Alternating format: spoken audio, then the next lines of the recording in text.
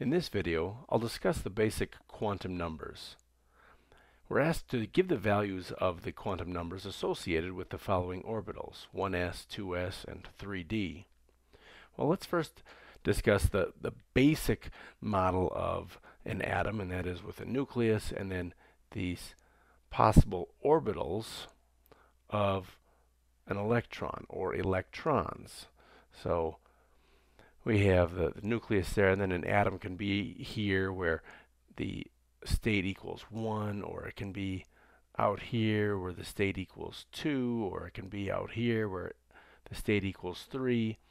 And uh, that, that number that I have in purple there, that's called the principal quantum number. So you can think of that as the distance from, from the nucleus the principal quantum number, and that's this first number that's listed. And then with, within each of these uh, principal quantum numbers, you can have a subshell.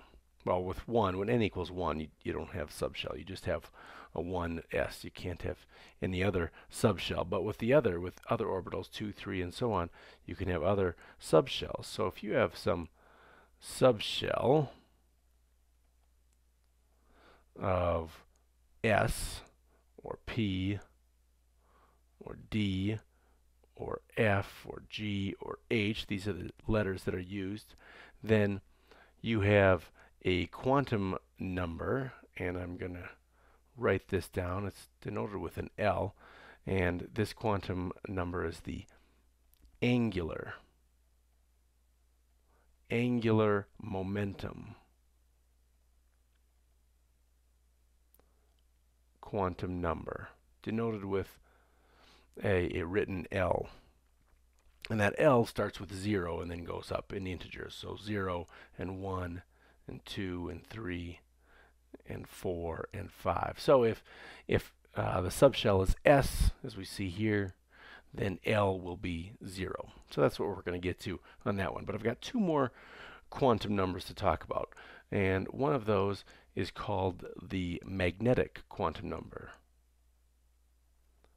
The magnetic quantum number uh, discusses the orientation of the orbital, and it is denoted with m sub l.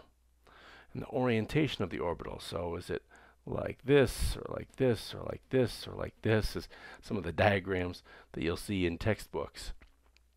Uh, the the magnetic quantum number then can can take on the uh, the identity or, or the number of anything from negative L up through zero, all the integers, up to positive L. So for example, if L equals 1, then M sub L would equal negative 1, 0, and positive 1.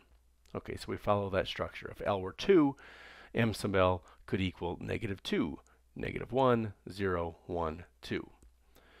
All right, and the last quantum number that I won't go too deep into, but it is important to understand that these electrons, they're so tiny, but they are charged particles after all, and, and so they they warner, uh, garner a lot of uh, respect here. So we have the electron spin. And the electron spin is denoted m sub s, and that can be either positive one half or negative one half. And real quickly, that just determines or it, it discusses whether the, the electron is spinning clockwise or counterclockwise. So a lot to think about with these little tiny electrons. So the four quantum numbers. Okay, so if we have 1s, then let's just run through these. If 1s, then the n equals 1. And the L equals, that's this right here, L equals 0 because the S corresponds to L being 0. Now, m sub l can only equal 0 because it, it falls right there. in the middle. We don't have any numbers to the left of, or the right of 0 because L is just 0. And M sub S, well, that can be either plus 1 half or negative 1 half. And if, in fact, I am going to just circle that, and that's going to be the case for all of these. So I don't, I'm, gonna, I'm not going to rewrite uh, m sub s for all of these. That's the case for, for all of these.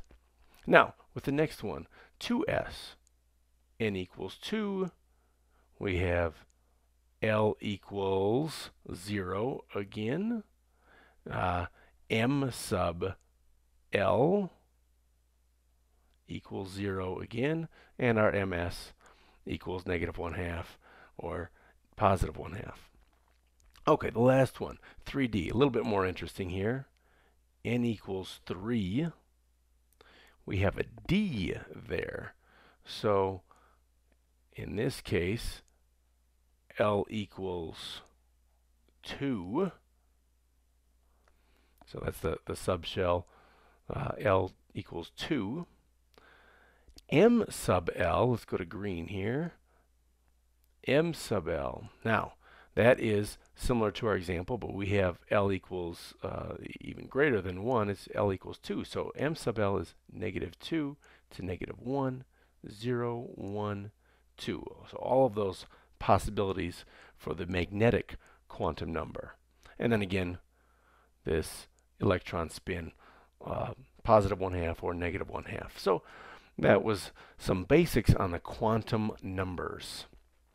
If you found this video helpful, as always consider liking it or sharing it with a friend.